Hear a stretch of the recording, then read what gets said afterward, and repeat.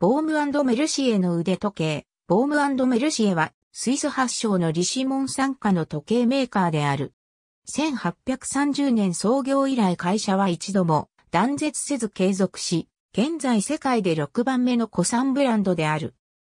ボームメルシエは、スイスのジュラで時計の下請けをしていたボーム家のボーム兄弟に始まる。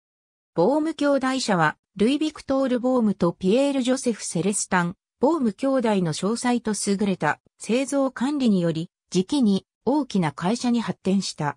何も見逃さない。最も優れた品質の時計だけを作る完璧なものしか認めない。最高品質の時計しか製造しないというモットーに忠実に経営を続けた。現在の CEO はアラン・ジンマーマン。近年、ボームメルシエはクリフトン、クラシマ、ハンプトンのメンズレディースコレクション、ケープランドのメンズコレクション、リネア、プロメスのレディースコレクションを提案している。2015年には世界に名だたるアメリカのレースカーメーカーである。今の注目ウォッチは、ケープランドとクリフトンコレクションから発売中の新しい限定モデル、シェルビーコブラ。伝説のクラシックスポーツカーにちなんで命名された。創業当初は宝飾時計で好評を博す一方、クロノグラフを自社開発するなど優れた技術力を発揮。19世紀半ばに各国で開かれたバンコク博覧会では5つの金メダルを含む数多くの賞も獲得。19世紀後半から世界各地で始まった国内見本市や国際フェアに出展し、パリ、メルボルン、チューリヒとアムステルダム、ロンドン、シカゴで10のグランプリ、7個のゴールドメダルを獲得するという偉業を成し遂げた。ボームの時計は、ロンドン近郊のキュー天文台の主催する時計精度、コンクール、キューテディントンコンクールに1885年を初めて参加した時、上位7位のうち3つを占め、翌年には4つのモデルが受賞した。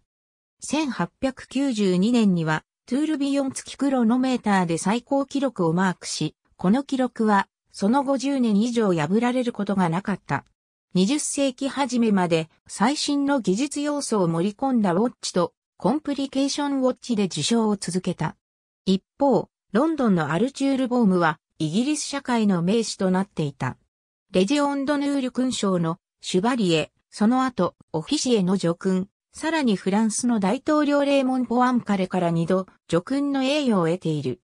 ベルギー王レオポルド2世のグランオフィサー賞を授与されたほか、英国国王メアリー一世列席の公式版3回にも招待された。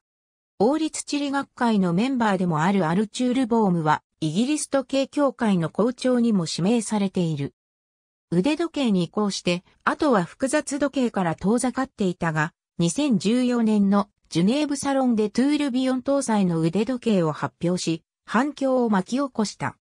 2015年12月には、ボームメルシエのセレブリティアンバサダーとして、モデルや歌手としても活躍中の中国人俳優、チンヒツジサルを迎え、クリフトンのウォッチを身につけてのキャンペーンが展開されました。ありがとうございます。